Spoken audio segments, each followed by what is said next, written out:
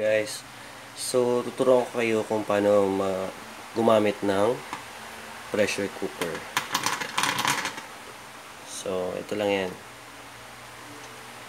Yung pressure cooker kasi meron siyang singawan. Once na malakas na yung pressure sa loob, automatic yan, nagdi-discharge siya ng pressure para hindi siya ma-overpressure sa loob.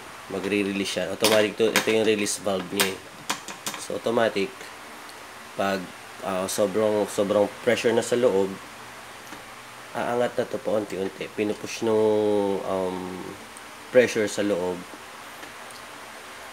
itong pressure valve. So, unti-unti lumalabas siya. Ito, itong mga to, um, pressure, malabas yung pressure dyan eh. Pero mostly, mapapansin natin, dito talaga yung main pressure valve niya. So, paano ba ito gamitin? First, open mo lang muna siya.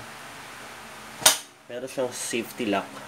So, para sealed na sealed talaga yung ano natin niluluto sa loob. So, ayan siya. Diyan mo lalagay yung karne. And yung ilalim niya, meron siyang gasket sa loob para airtight talaga siya. Hindi siya na kahit kumulong-kumulo, hindi lalabas yung tubig na nilagay natin. So, yan. Diyan pumapasok yung um, air pressure, yung hot air pressure sa loob ng pressure cooker. Then, if puno na, papasok na siya dyan, and lalabas na siya dito sa main pressure valve niya.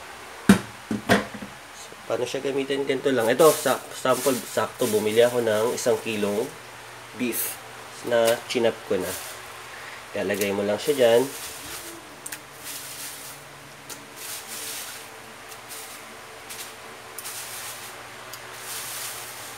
Ayan. Actually, itong beef na to, nahugasan ko naman na to eh. Then, add lang tayo ng water.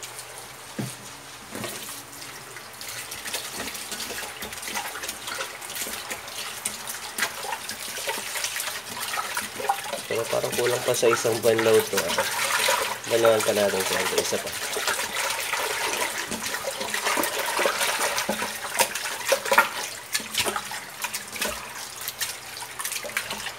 Bakit nga ba gumagamit ng pressure cooker? Siyempre, para hindi na masaya yung gas mo. Kasi pag sa normal, ano ka lang, stove ka lang gumagamit, kusinilya o gas range, masyadong matag matagal magluto. Kasi dito, nasa loob lang yung init niya. Hindi siya nakakalabas. Kumpara dun sa mga kasirola natin, na for example, ganyan, may nakatakip na ganyan, once na napuno na ng pressure dito sa loob, umaangat yan.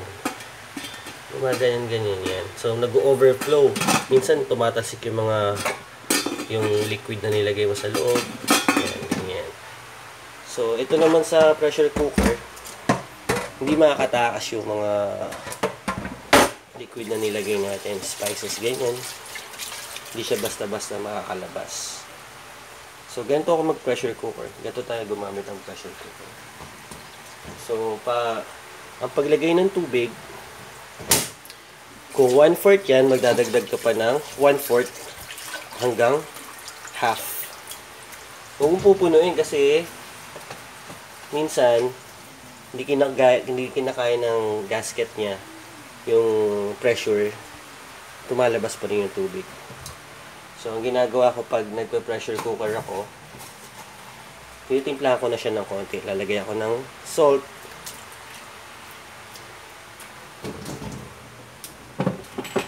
And, lalagyan ko na rin siya ng pepper. Yung pamintang buo, para kahit pa paano, makuha niya yung lasa nun. So, once na lagay mo na yan, kung anong gusto mong gawin dyan sa lulutuin mo, may tubig na, may asin, may pepper, pwede na natin siya takpan. Okay? So, make sure lang na magla-lock siya. Hanapin mo muna yung lock niya. Kasi may ano yan eh, may teeth. Kita ba yung teeth? Tsaka yan. Ayan, ganyan. So, yan.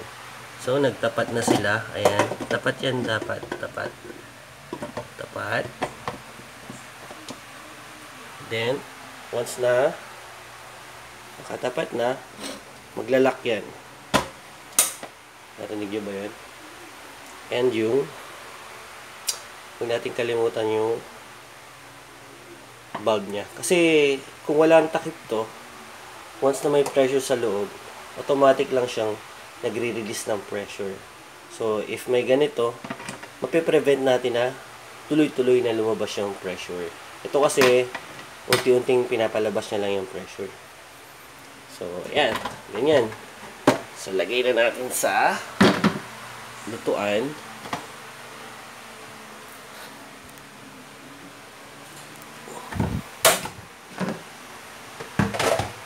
Yan. So, mostly pag beef, gano'n ba katagal pinapalambot ang beef? Ako kasi, pag beef, 30 minutes ang binibigay kong time dyan. 30 minutes to 40 minutes. Pero kung regular kaserola ka lang gumagamit, Puro, buti nga nasa kalahating oras, eh, hindi pa masyadong malambot yan eh. And, and also pala, mamaya-maya, pag sobrang lakas na ng pressure sa loob, baka kasi hindi naabuti ng video eh. Sobrang lakas na ng pressure sa loob. Nag-iingay na yan. Naglalabas na siya ng pressure. Parang tapos ito, galaw na ng galaw. So, once na mag na, pabayaan nyo lang siya. Pwede nyong hinaan ng konti yung apoy. Yan, ganyan lang, medium lang.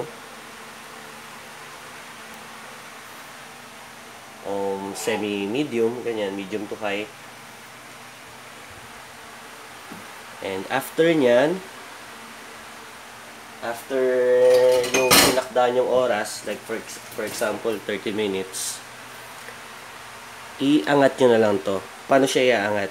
Ang, ang pinaka ginagawa kong easiest way lang, kutsara or tinidor. Or tinidor. So, ipapasok mo lang yan dyan. So, may papansin nyo, nakaangat na siya. That's the time kasi na kailangan nang tanggalin yung pressure. Dahil ayaw mo nang ma-overcook yung niluluto mo. And just a reminder lang pala.